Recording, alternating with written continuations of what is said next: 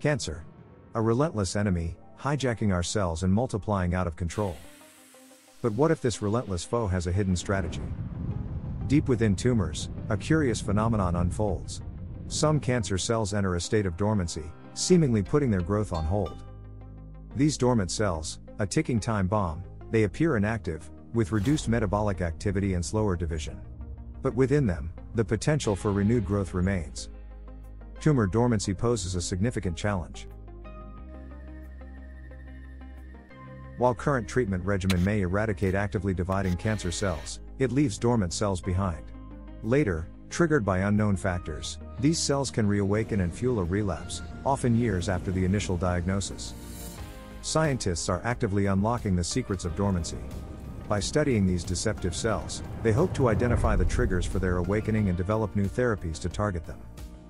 Research suggests several factors might influence dormancy low oxygen levels, nutrient deprivation, and even the body's immune response could play a role in pushing cancer cells into this hidden state.